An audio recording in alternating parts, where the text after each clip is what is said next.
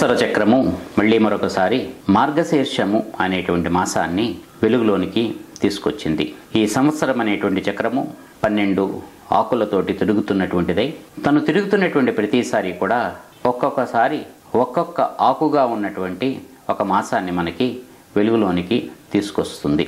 ఆ మాసము వెలుగులో ఉన్నంతసేపు అప్పుడు జీవుల యొక్క గమనము కానీ జీవుల యొక్క ప్రయాణము ఏదైతే ఉందో సాధన కానీ దానిని తన వెలుగులో తాను దర్శించి సవరించి ఆ దిద్దుబాట్లని అందించి ఈ మాసము మరొక మాసానికి అది దారినిచ్చి ఇది మళ్ళీ వెళ్ళిపోతుంది. ఈ రకముగా ప్రతి సంవత్సరము కూడా మనకి జరుగుతూ ఉండగా మరొకసారి మళ్ళీ మనము మార్గశీర్షములో ప్రవేశించాం. మార్గశీర్షము అనేటువంటి మాసము మృగశిర నక్షత్రములో చంద్రుడు ఉంటూ ఉండగా పౌర్ణిమ వచ్చేటువంటి కాలమునకు చెందినటువంటి మాసము. ఈ మృగశిర నక్షత్రము దీని తరువాత వచ్చేటువంటి ఆర్ద్ర నక్షత్రము ఇవన్నీ కూడా మనకి మిథున రాశిలో ఉంటాయి. ఈ మృగశిర నక్షత్రము వృషభము నుండి మిథునము వరకు వ్యాప్తమై ఉంటుంది. ఈ మృగశిర నక్షత్రమునకు తర్వాత వచ్చేటువంటి ఆర్ద్ర నక్షత్రమునకు ఈశ్వరునకు సంబంధించినటువంటి నక్షత్రములుగా సంకేతము. ఈశ్వరుడు ఒక వేటగాడుగా ఆయన ఒక మృగాన్ని వేటాడుతున్నట్టుగా ఉండేటువంటి ఒక సంకేతము ఒక బొమ్మ మనకి ఈ నక్షత్రముల యొక్క గుంపుగా మనకి ఇవ్వడము జరిగింది.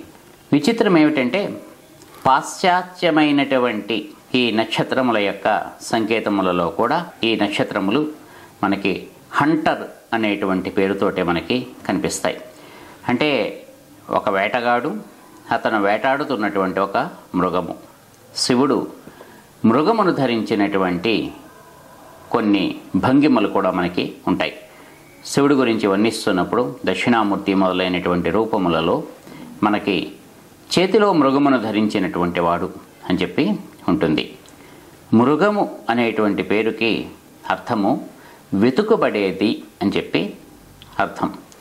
అంటే అది వెతకబడుతుంది కాబట్టి వేట కోసమో దేనికోసమో దానికి మృగము అని చెప్పి పేరు వచ్చింది. మృగ్యతే ఇది మృగ. అలాంటి మృగమునకు సంబంధించినటువంటి ఒక మాసము. ఇక్కడ మృగం అంటే ఎవరు? అంటే మనమే. మనని వెతికేటువంటిది ఎవరు?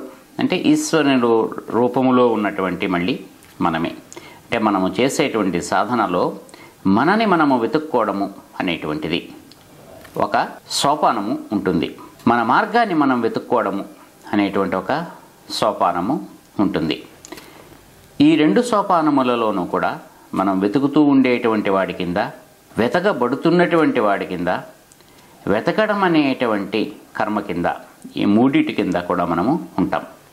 ఈ మొత్తము సంకేతం ఏదైతే ఉందో ఈ మొత్తము రహస్యం ఏదైతే ఉందో అది ఈ మృగశిర అనేటువంటి నక్షత్రము దాని తర్వాత వచ్చేటువంటి ఆర్ద్ర నక్షత్రము వీటికి సంబంధించినటువంటి సంకేతములుగా చెప్పబడ్డాయి.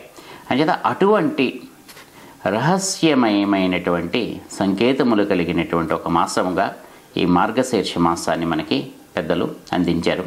మనకి నక్షత్రములు కానీ మాసములు కానీ రాసులు కానీ ఏవైనా సరే నిత్య జీవితంలో మనము ఆ కాలాన్ని ఎలాగ మనము సద్వినియోగము చేసుకోవాలి అనేటువంటి ఉద్దేశ్యముతోటే వాటికి ఇవ్వబడినటువంటి పేర్ల రూపంలో కానీ చేయవలసినటువంటి విధుల రూపములో కానీ ఇన్ని రకాలుగా మనకి పెద్దలందరూ కూడా అనేకమైనటువంటి పురాణములలోనూ ఇతర గ్రంథములలోనూ మనకి ఇవ్వడం అనేటువంటిది జరిగింది.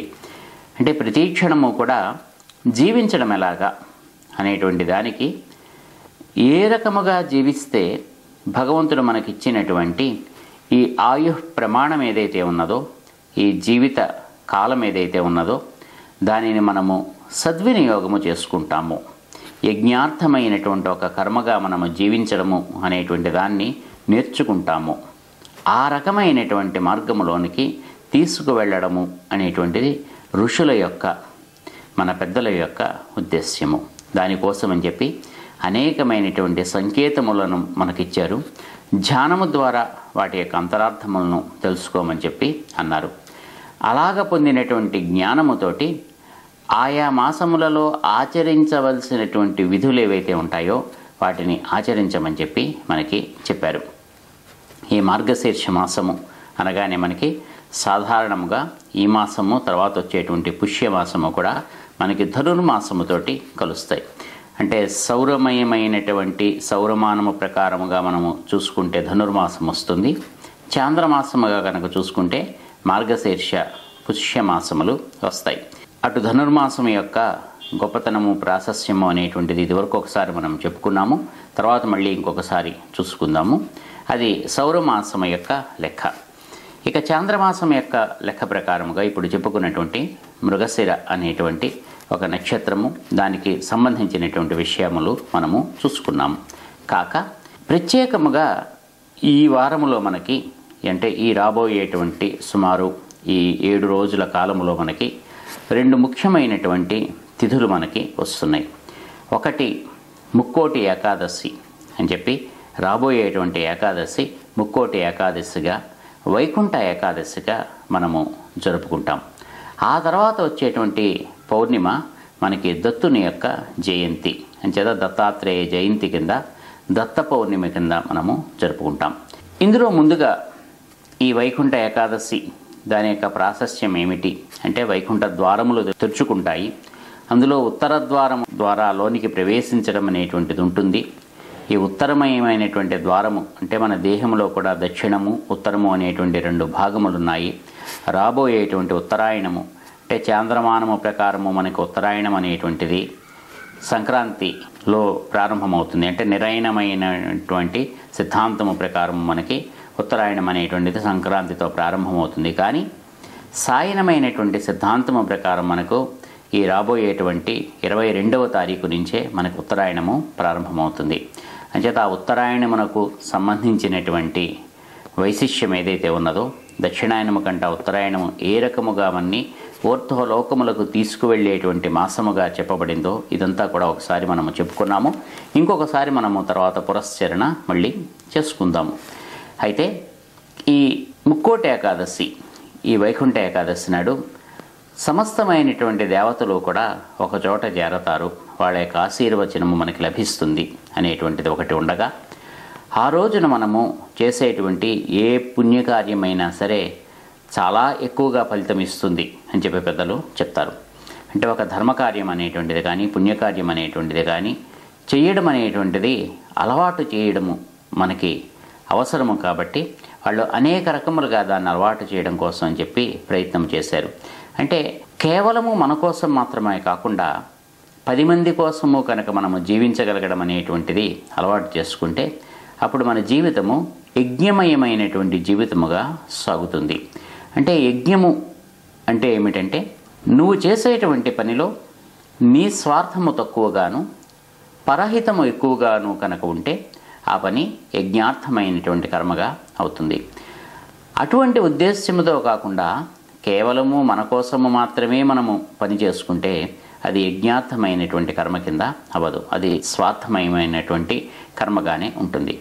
కానీ భగవంతుడు ఎంత దయామయుడంటే మనకి మనకి స్వార్థములా కనిపించేటువంటి కొన్ని పనులలో కూడా ఆయన యజ్ఞార్థమయమైనటువంటి కొన్ని ఫలితములను జొప్పించుకుంటూ వచ్చాడు.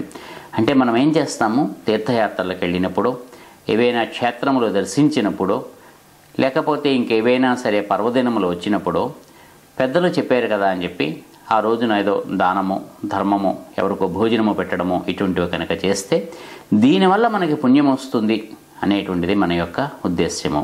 అది అలా ఉంటూ ఉండగా మనము చేసినటువంటి ఆ పని మనం ఏ ఉద్దేశ్యముతో చేసినప్పటికీ కూడా ఇంకొక వ్యక్తికి కడుపు నింపడము లేకపోతే ఇంకొక వ్యక్తికి కొంత ధన సహాయము జరగడము అటువంటివి జరుగుతాయి కాబట్టి దానివల్ల కలిగేటువంటి పుణ్యం ఏదైతే ఉంటుందో అది మనని మంచి వైపు కొద్దిగా తోస్తుంది.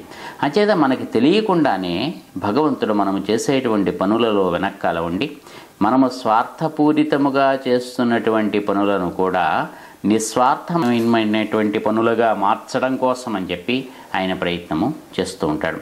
చేస్తూ అటువంటి నిస్వార్థమయమైనటువంటి జీవితాన్ని మనకి అందించడం కోసం అని చెప్పి ఒక ప్రయత్నం చేస్తాడు. ఆ రకముగా ఈ ముక్కోటి ఏకాదశి అనేటువంటి దాంట్లో సమస్తమైనటువంటి దేవతలు కూడా ఒకే చోట చేరి మనము చేసేటువంటి అతి చిన్నదైనటువంటి పనికి కూడా వాళ్ళు తృప్తి చెందుతారు కాబట్టి మనము ఏదో ఒక రకమైనటువంటి పుణ్యకార్యము చేయడము ధర్మకార్యము చేయడము.